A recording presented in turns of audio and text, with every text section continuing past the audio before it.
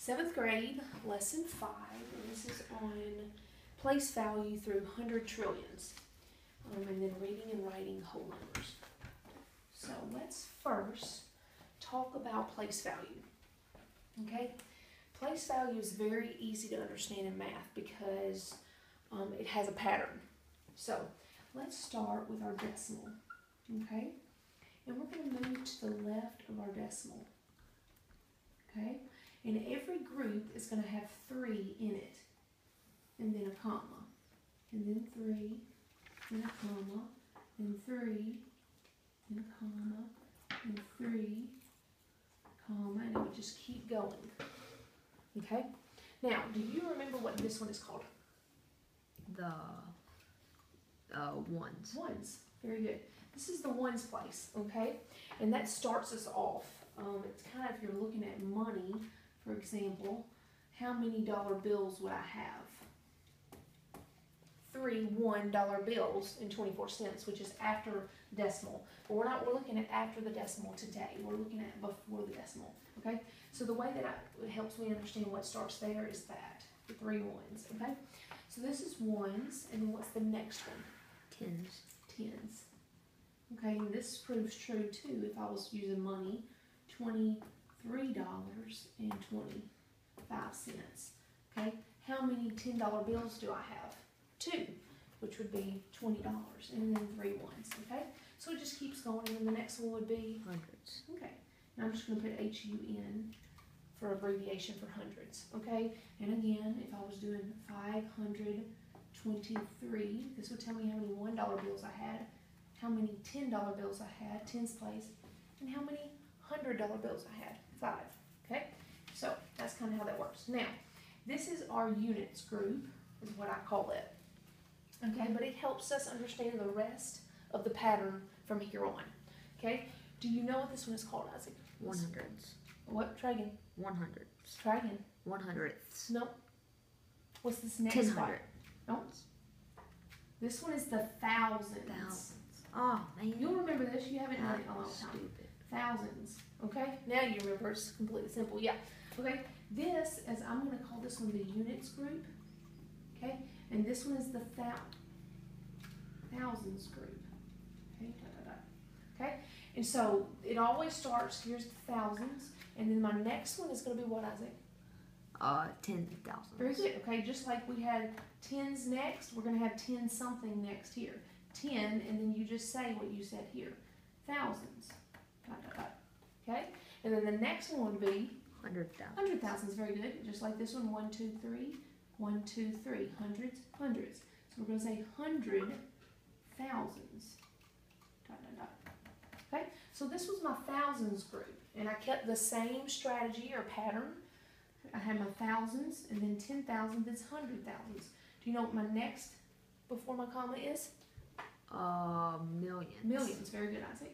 This one's our millions, and it's going to be called our millions group. So I'm going to write mil up here for millions group. Okay. What is the second one going to be? It's gonna be ten million. Okay, and as you can see, we are keeping the same pattern. Millions, ten millions. The next one's going to be Hundred million. hundred millions, okay? And this would be the millions group. So each time we have a new, um, a new one that we started, like thousands, millions, and then we just follow our same pattern with ten and hundred, okay? And then the next group would be Billion. billions, very good.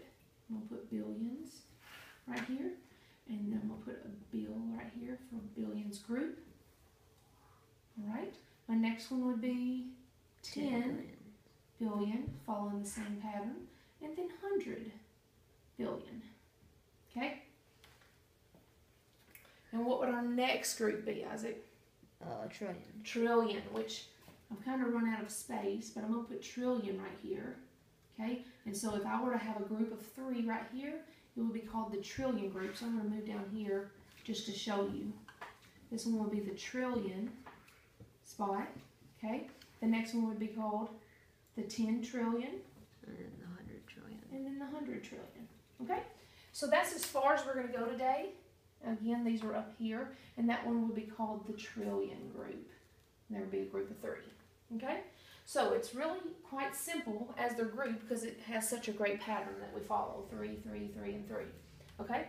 Now, um, it's really helpful to know that it starts with the thousands group, then moves to the millions group, then moves to the billions, and then the trillions. Okay? Because that's the one that starts right before the comma. Okay? So in the comma, you see a comma, that should tell you that a new group is about to start. Okay? So, I'm to erase that and we'll start getting into it. Okay? If I gave you this big number,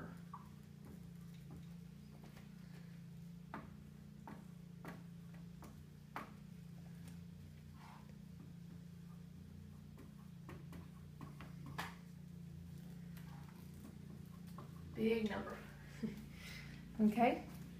And I want to ask you which digit is in the trillions place. Okay? The first step I would take is just start counting back from the decimal is the end, even if you can't see it, and you move to the left. So we go ones, tens, hundreds.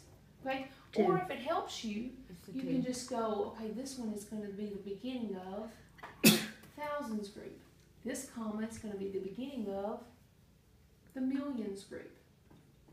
This comma is going to be the beginning of billions. And this one's going to, comma is going to be the beginning of the trillions group. It's two. Okay, very good. And so because we know this is our trillions group, the first number is going to be our trillions, okay, the two right here, and then the three is going to be the 10 trillions, okay, and this one's going to be the trillions, okay, because when we're working with numbers, we go from right to left instead of left to right when you're organizing them and doing this pattern. Do you understand? Mhm. Okay, so the two would be in the trillions place. Okay, if I asked you, Isaac, which one is in the 10 billion place? Six. Very good. Okay, so he got the clue of the billion right there, that group, the billion, and then he knew that this one was billion, this one was 10 billion, and then this one will be 100 billion. Very good, Isaac. Okay, now, let's move our attention just real quickly um, and talk about putting something in expanded notation. Do you remember expanded notation? Yes, it's like the Expanded. it's like the um those basically the number and you like break it up into like Yes, so like breaking five it up. would be like five hundred plus sixty plus Seven. seven. Very good. Okay, so I'm going to use the number he just gave us, 567. So what we would do is we go, how many, um, this is in the ones, tens, hundreds. So how many hundreds are there? So we'd say 5 times whatever spot it is in, which is hundreds. Okay, we're just going to use numbers because that's what expanded notation is. So this would be 5 times 100, which would give us 500, which is what this means. Plus 6 times 10 because this is in the 10 spot. And then plus 7 times 1 because 7 is in the 1 spot. Okay? So if we were to add this, this would be 5 times 100 is 500. Plus 6 times 10 is 60. Plus 7 times 1 is 7. And if I added that, 500 plus 60 plus 7, I would end up getting 567. Very good idea. Okay, but let's talk about a number like this. 25,000. Okay, not too much harder, but it is a bigger number, okay? Are we going to do anything with our zeros? Nope. Okay, so zeros aren't really included in expanded notation, okay? But where is this and this located? What group? It's in the uh, thousands. Very good. Our first comma indicates that we're moving into a different group, okay? This is the thousands group. Very good. Okay, this one is which one?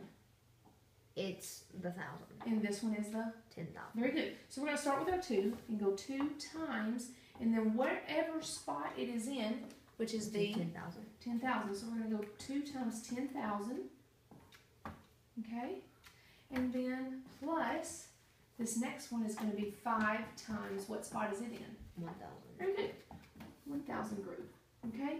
And because these zeros are just zeros, um, we do not finish out with that. So this is the expanded form of 25,000. All right, now, let's do this. If I were to give you um, this number, I want you to help me write it in using words. Okay? So we're taking a number and gonna say it in words. Okay, and I'm gonna teach you an easy way to do this. So we need to review something really quick. Okay? So it's really helpful that we know that the commas are right before another group. So this comma indicates which group? A thousand. Very good. So I'm gonna put TH for thousand. This one indicates A million. millions group. This one indicates Billion. billions, and this one indicates Trillion. very good. Okay. So okay, I'm just put them. All right. So now what you're gonna do is I would be able to say one, and then um, because I know it's in this group, what would I say? That comma means One, one trillion. very good one. The comma means that group trillion. And then you just say the next three numbers. And how you would say that is 380. And then what group is this a part of? Billion. Billion. And that comma means billion. So we have 1 trillion, 380 billion. And then I don't say anything right here because, again, they're just zeros. Okay? But our next one says 50. And what 50 is a part of? Thousand. thousand, and this comma stands for that thousand. So, um, fifty thousand, and then we have just two hundred, and you don't say units, um, because we're done. Okay. So how I would read this is one trillion, three hundred eighty billion, fifty thousand, two hundred. That's exactly how you'd say it. Now. Um, so if I was going to write this, um, that's exactly how I'd write it, exactly how I'd say it. Okay, now, one more quick thing I need to share with you. A number from 20 to 100, okay, that doesn't end in zero, we're going to put a hyphen in. For example, if I had, let's think of a number, 52 is in between 20 and 100. So I would say 50 dash 2. That's a hyphen, 52. Now, obviously, we don't have to do the ones that end in zero, like 50, because there's not a 50 dash something. So 50 would just be 50. But any number in between 20 and 100, we have to use hyphens. All right, now, so let's work. Isaac, do you want to come up here and write it, or you rather me just do it? You want to do it on your paper? What, that? Yeah. Um, sure. Okay. Now, something I want Isaac to remember to do as he writes this is every time he says trillion, billion, million, he has to put commas after that.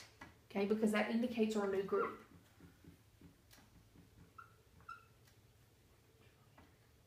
Very good. So so far he's written one trillion, and then he put a comma after that because he's done with that group. You can keep going.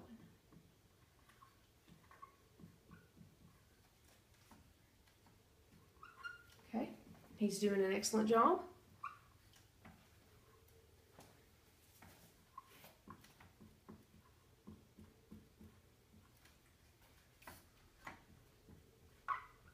Almost done.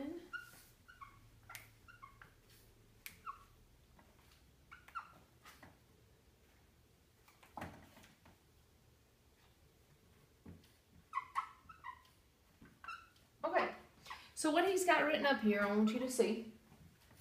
It's one, thank you, I see. One trillion, put a comma, because that's how it is here, one trillion, comma, 380 billion, 380 billion, 50,000, because we skip this one and we go to the thousands group, 50,000, and then he's got 200, 200. So he did it exactly right. Excellent job, okay? So as you can see, we put he put commas every time he went to a new group. Comma, comma, comma. Okay? Very good, Isaac. Very good. All right. Now, where would I place commas here?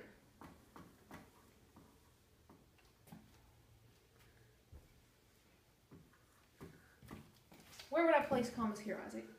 Uh, there'd be a comma between the six and the five, Very good. So he'd go one, two, three, comma. And then between three and four. Very good. One, two, three, comma. Very good. So he did it exactly right. All right. Um, let's try one more. This time I want you to use digits, which are just numbers. Digits are numbers. Use digits to write this number. 20 trillion 500 510 million. Now the very first thing I would do in this problem is I know that the farthest this is going to go left is my trillions, okay?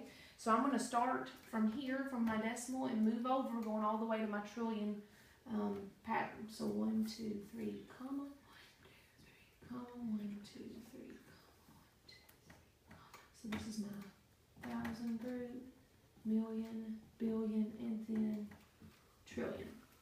Okay? And this is my ones and my units group. Okay? Thousand, million, billion, trillion. Okay. And so then I know this is the one I'm writing. So I want to put 20 trillion. So this is my trillion group. Okay? And it's 20. Right there. Okay? You see how I put 20? Okay? Why would it be incorrect, Isaac, that I didn't put a 20 here?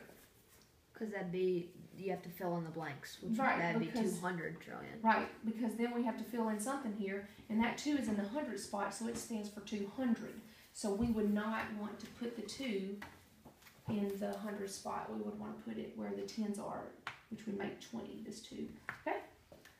Twenty trillion. All right. Are there any billions listed in this? No, it'd Nope. three zeros. So I would put three zeros. Very good. I need to fill it in with something. Are there any millions in this group? yes, Yes. What number? 510. Very good. 510. Okay, so I'm going to write 510 in my millions group.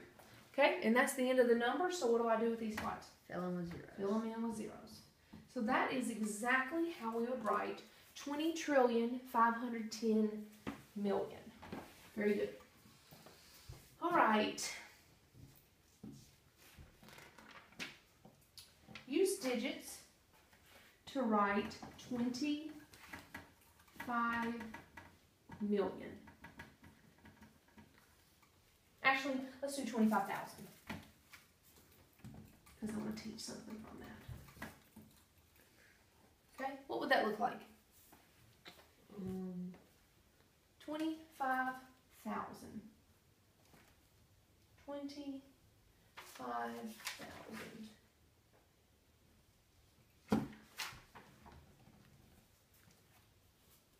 I would go 25, and then I know that this is ones, tens, hundred, thousand. So this would be my 25, and this is my thousands group. Very good. Now, um, sometimes people, if I were to count 800, 900, okay, 800, 900, and our next one would be a thousand. Okay, but some people just keep counting by hundreds. So sometimes you'll hear a thousand written or said a different way. For example, 800, 900, they say 1000, 1100, 1200, 1300, which stands for there are 1300s or 1300. So sometimes you may hear, I bought a jet ski for $2,500. $2,500, which is really $2,500. Okay? So it's just a way that some people like to say it. All right? And that is lesson 25.